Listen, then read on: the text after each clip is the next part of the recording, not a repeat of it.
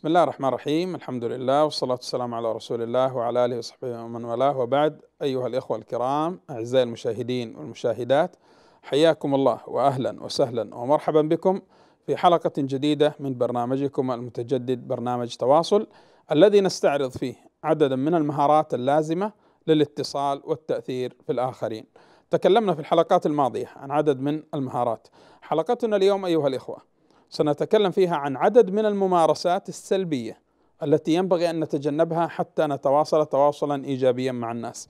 ونبتدئ هذه الحلقة بقول النبي صلى الله عليه وسلم شر الناس من ودعه الناس اتقاء فحشه. وفي رواية من تركه الناس اتقاء فحشه. من شر الناس الذي يتركه الناس أي يجتنبون الجلوس معه والحديث معه ويتحاشونه لسوء أخلاقه. فبعض الناس قد يكون فيه من الأخلاق السيئة ومن التعاملات السيئة ومن السلوكيات السلبية ما يجعل الناس ينفرون ويبتعدون ويتحاشون ويهربون من الجلوس معه واللقاء والاحتكاك به. هذه الصفات السلبية تجعل الناس ينفرون منك ولذلك سنستعرض عدد من الممارسات السلبية والسلوكيات الخاطئة التي تؤثر سلبا في عملية الاتصال مع الناس والتأثير فيهم نستعرضها بإذن الله عز وجل بعد هذا الفاصل القصير.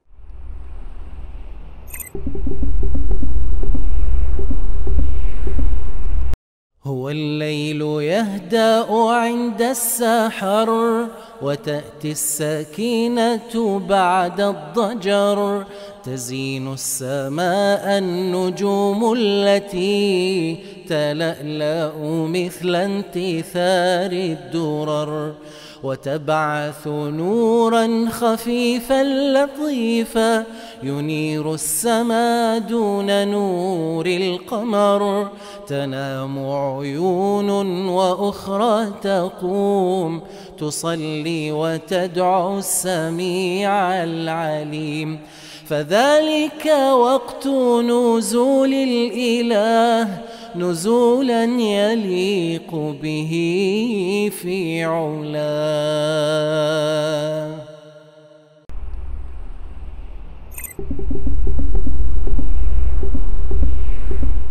حياكم الله أيها الأخوة بعد هذا الفاصل وسنستعرض بعض الممارسات السلبية في التواصل. حياكم الله يا شباب. الله اليوم حلقتنا كلها عن الممارسات السلبيه يعني الحلقات الماضية كنا نذكر بعض الممارسات والمهارات الإيجابية. نعم. حلقة اليوم سنتكلم عن بعض الممارسات السلبية. السلبية. نعم. اولا شخصية المدقق. بعض الناس تجد كثير التدقيق. يدقق في كلام الناس في ألفاظهم في ملابسهم في هيئاتهم في مواقفهم. يعني آه، ما يمر شيء إلا يدقق فيه. لا صغيرة ولا كبيرة. لا صغيرة ولا كبيرة. يعني تجد كل فعل يدقق عليه. يعني إحنا. جالسين مثلا في جلسة. أنت أيوة. قلت لفظة يدقق على هذه اللفظة ويقف معها. ليش قال؟ ليش؟ وليش قال؟ وربما يضحك منها ربما يستهزئ ربما يحتفظ بها ويرجع يفكر فيها. ليش قلت النكتة هذه؟ ليش قلت هذا هذه النكتة الآن؟ يدقق أيضا مثلا في لبس الآخرين. والله لبسه الآن متناسق ما هو متناسق لبسه جيد ما هو جيد. يدقق في جلسة شخصياتهم. الناس طريقة جلستهم في شخصياتهم في طريق كلام آه، طريقة كلامهم. فبعض الناس يبتلى بهذا الأمر. يكون مدقق وتجد أن عينه بصيرة شخص. ونافذة تفصيلي يعني. لا يترك شيئا. نعم تفصيلي جدا. إيه. يدقق على أقل الأشياء وأقل الأمور. هذه الشخصية ترى ينفر منها الناس أكيد. ويتحاشونها. لا يريدون شخص يدقق في تصرفاتهم وأفعالهم. بل حتى أيها الإخوة في المحادثة لا تطيل النظر في الشخص. أنت الآن تحرجه. مثلا أنا أتكلم الآن مع عبيدة في حديث ثنائي. لما أسلط النظر عليه مباشرة ولفتره طويلة تحديق هذا التدقيق الآن هذا يحرجه وربما يؤذيه. صحيح. أحيانا يريد أن يغير من الجلسة يريد أن يمسح شيئا في وجهه يريد أن يقوم بأي حركة يجد أنه تحت المجهر. لأنك أنت مدقق عليه الآن. فيجد إحراج. اذا هذه الشخصية شخصية منفرة فنبتعد عنها.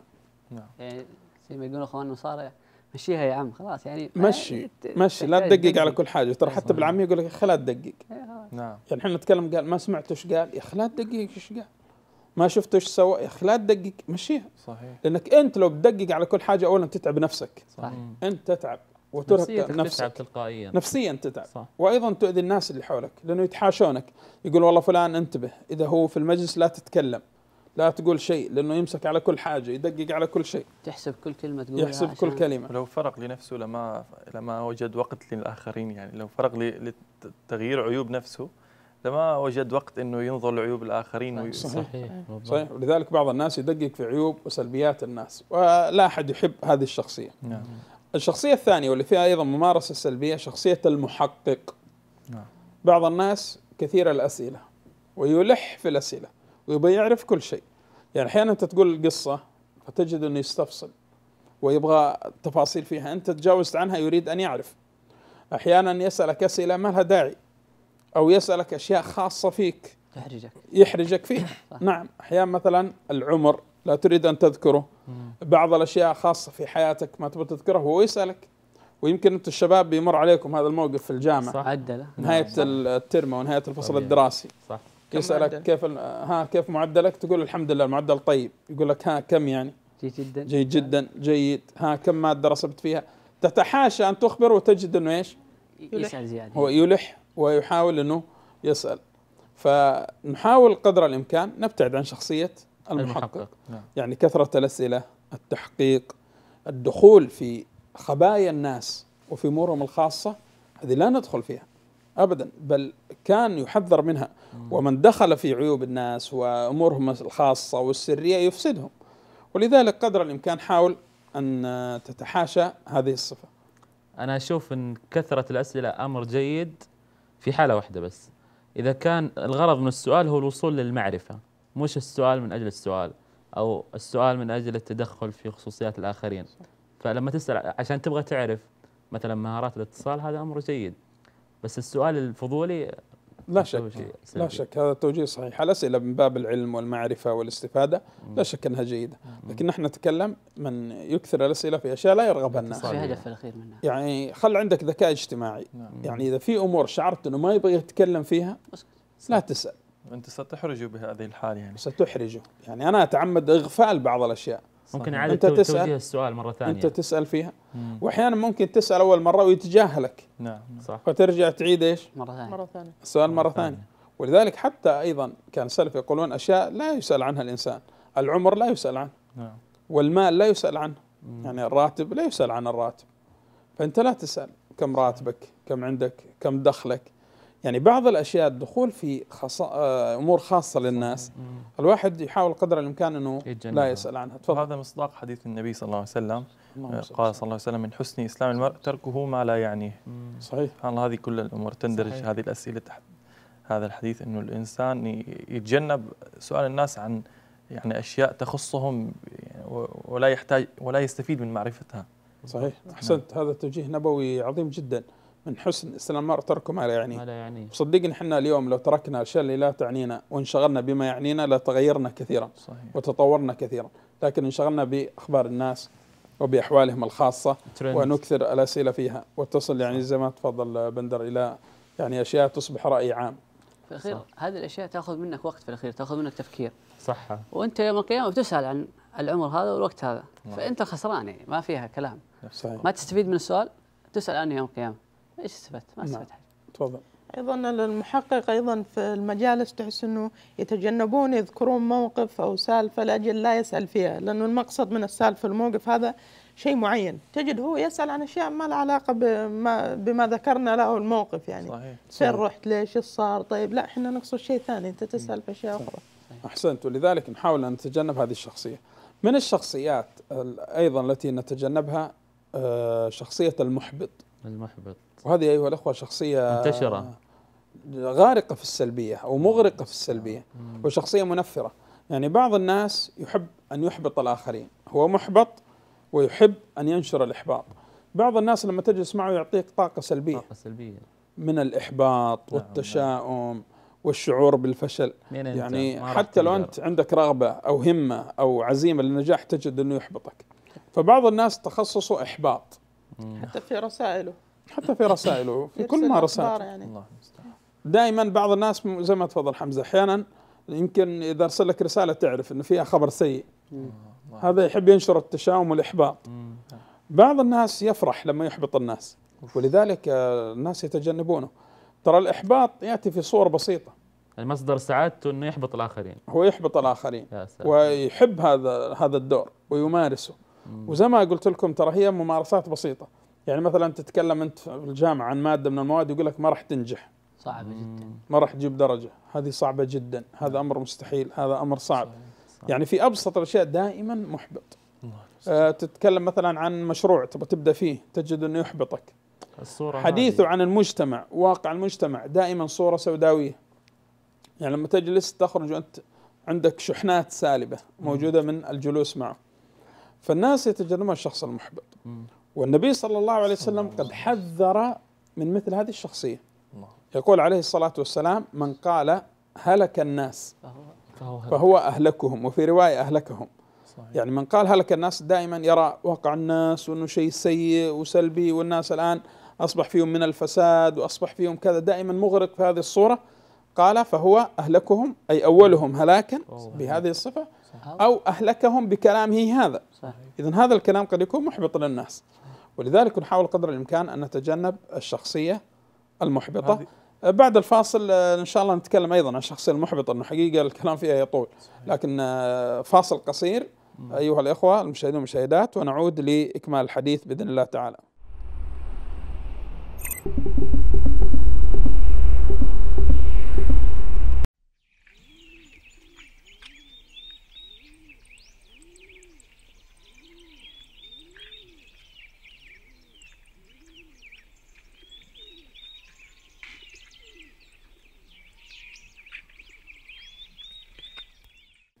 العلم. العلم حياة القلوب ونور البصائر والميزان الذي توزن به الأقوال والأعمال والأحوال ويعرف به الحلال والحرام.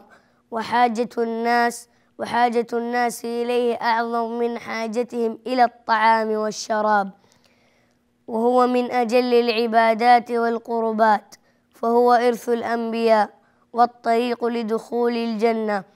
والرفعة في الدنيا والآخرة وما أمر الله تعالى رسوله صلى الله عليه وسلم بالاستزادة من شيء إلا العلم. فقال وقل رب زدني علما.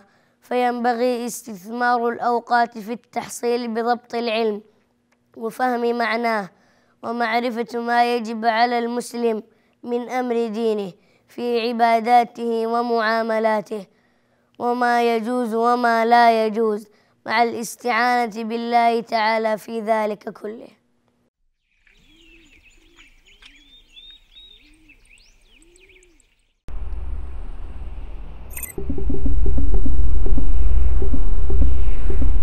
حياكم الله أيها الأخوة مجددا آه، كنا قبل الفاصل نتحدث عن شخصية المحبط وهي من الشخصيات السلبية والتي نريد أن نتجنبها في عملية التواصل. كان عندك مشاركة يا عبيدة؟ نعم سبحان الله. شيخ إنه المحبط هو يعني فينا تقول إنه أسوأ شخصية في المجتمع يعني هو آه، محبط وعم ينشر الإحباط عند الناس بل ربما تكون سعادته بإحباط الناس. صحيح. صحيح. فهذه بلاء عظيم يعني يحتاج إنه صحيح. نغير شخصية المحبط آه، شخصية سلبية جدا والناس لا يحبون هذا الإنسان بل له أثر سلبي عليهم في حياتهم، أنا أذكر أحد الدكاترة يذكر لي هذا الموقف هو الشخصيه اللي يذكر لي هذا الموقف عن شخص يعرفه. يعني القصة عن طفل توفي والده ثم انتقلت رعايته إلى عمه وكان عمه يعني كان شديد عليهم يعني وخاصة أيضا من الناحية المالية. هذا الطفل أراد أن يدخل في المرحلة المتوسطة إلى معهد شرعي لحفظ القرآن ويتعلم المواد الدينية فكان عمه لا يريد أن يدخل إلى هذا المعهد فيقول هذا الطفل قال له أنت ماذا تريد يعني حفظ القرآن؟ ماذا تستفيد؟ فكان يذكر له يريد أن أحفظ والأجر وماذا سيحصل عليه. فقال له عمه أنت اللي زيك ما يحفظ. يا أنت. اللي زيك مستحيل يحفظ قرآن. هذا هو طفل. وهو طفل في المرحلة المتوسطة. طيب. يقول والله ما حفظ آية بعدها. لا حول ما استطاع أن يحفظ.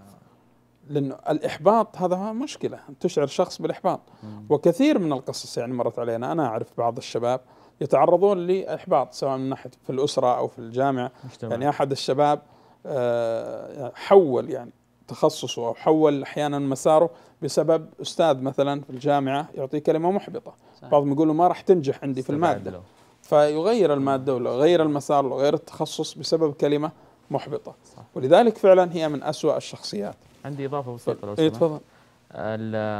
عندنا صورة نمطية أحيانا مثلا على المستوى الجامعة عن, عن بعض الدكاترة فبتشوه صورتهم لكن لما إحنا ندرس عندهم نلاقي إنهم غير غير عن ال- الصورة هذه.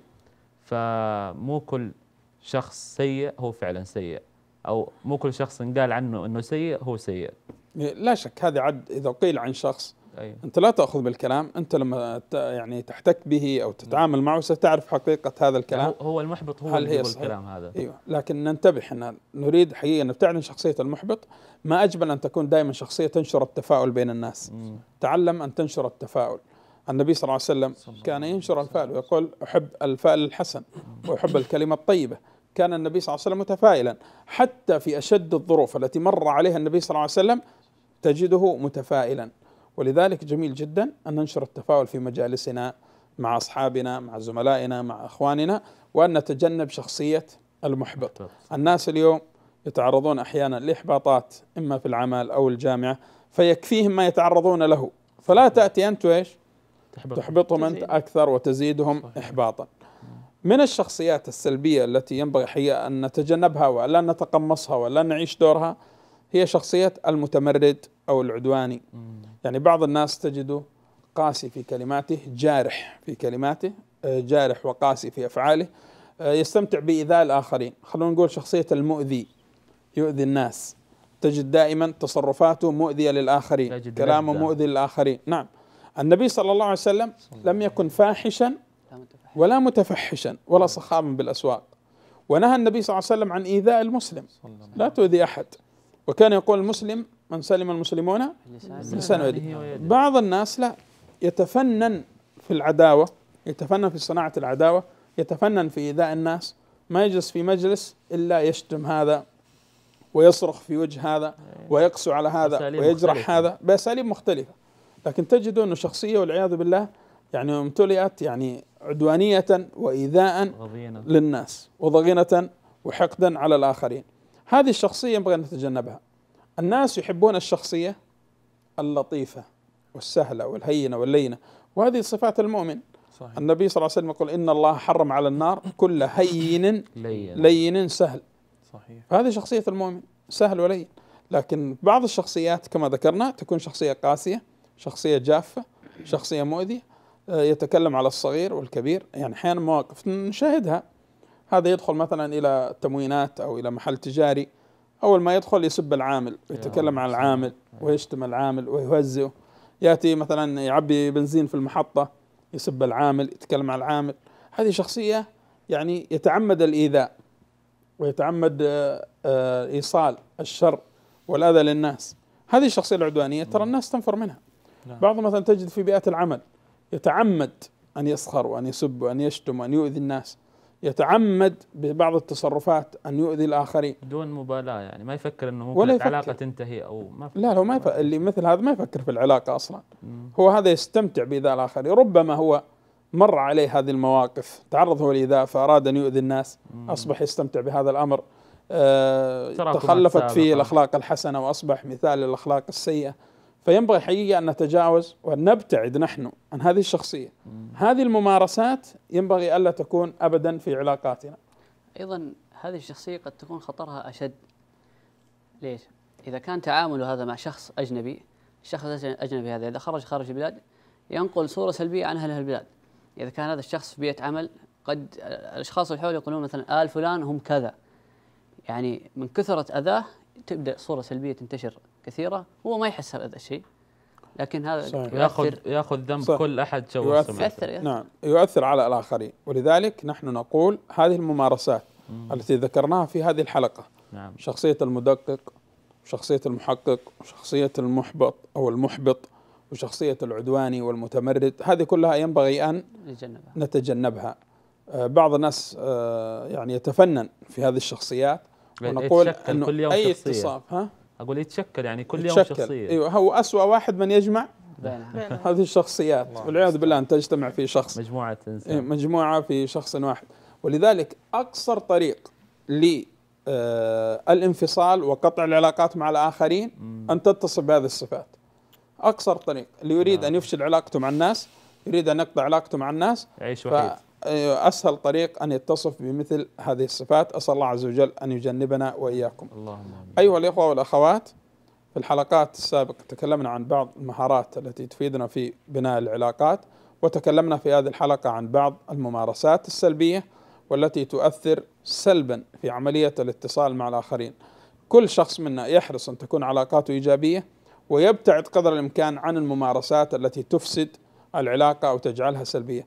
البعض أحيانا آه، يرمي بالاتهام على الاخرين دائما في سوء العلاقة وتجد ربما يكون هو السبب في فساد أو سوء العلاقة والتواصل مع الناس أسأل الله عز وجل أن يوفقني وإياكم جميعا لأن نكون ممن حسن خلقه ونكون بجوار حبيبنا ونبينا صلى الله عليه وسلم في الفردوس الأعلى. آه، نلتقي بإذن الله عز وجل في حلقات قادمة للحديث عن مهارات جديدة من مهارات الاتصال والتأثير، إلى ذلكم الحين نترككم في حفظ الله ورعايته وإلى اللقاء والسلام عليكم ورحمة الله وبركاته.